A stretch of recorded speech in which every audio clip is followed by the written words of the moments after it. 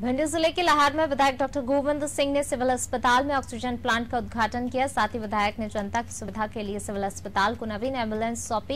इस दौरान विधायक और पूर्व मंत्री डॉक्टर गोविंद सिंह ने बीजेपी सरकार पर जमकर हमला बोला और कहा, कोरोना काल में लोगों को ऑक्सीजन की कमी से जूझते देखा और तीसरी लहर की आशंका को देखते हुए विधायक निधि से ऑक्सीजन प्लांट की स्थापना की। Block medical officer doctor Shailendra Pandey ने बताया, इस ऑक्सीजन प्लांट से चालीस पलंग पर ऑक्सीजन की सुविधा मिल सकेगी और नवीन एंबुलेंस उपलब्ध होने से मरीजों को उपचार हेतु आने जाने में सुविधा मिलेगी।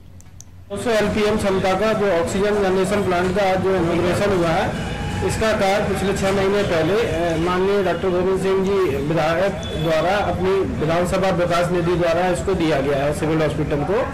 और इसको नाइट्रॉक्स कंपनी द्वारा बनाया गया है। इसकी क्षमता 200 हंड्रेड है। इसके द्वारा फोर्टी बेड्स सिविल हॉस्पिटल के को ये ऑक्सीजन सप्लाई दे पाए।